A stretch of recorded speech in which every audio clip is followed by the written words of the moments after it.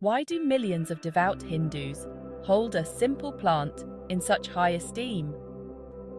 Discover the mystical powers of holy basil.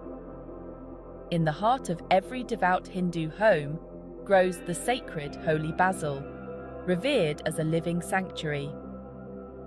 Legend tells that within its branches dwells Brahma, and in its roots flow the sacred waters of the Ganges.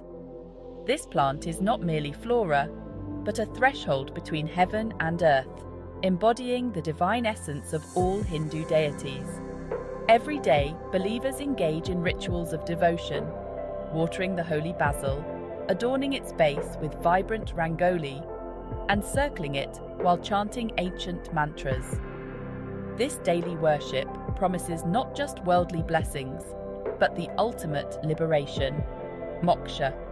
The holy Basil T. Viva, a ceremonial marriage of the plant to Lord Vishnu, marks a profound celebration of divine union, resonating with spiritual fervour and starting the auspicious wedding season across India.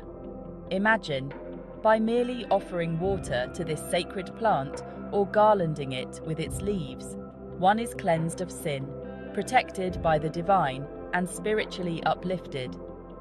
The holy basil is not just a plant, it's a profound symbol of faith, a beacon of spirituality connecting the earthly with the divine.